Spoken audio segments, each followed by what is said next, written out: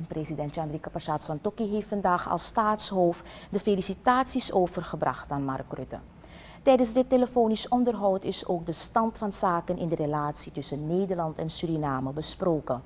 Verder heeft Santokhi weer eens benadrukt om de restant verdragsmiddelen beschikbaar te stellen. De eerder gedane uitnodiging van Rutte aan het staatshoofd om Nederland te bezoeken staat nog overeind. Op dit moment is minister Albert Ramdien van Buitenlandse Zaken International Business en internationale samenwerking in Nederland, waar er intensieve gesprekken worden gevoerd met Nederlandse bewindslieden om de samenwerking voort te zetten.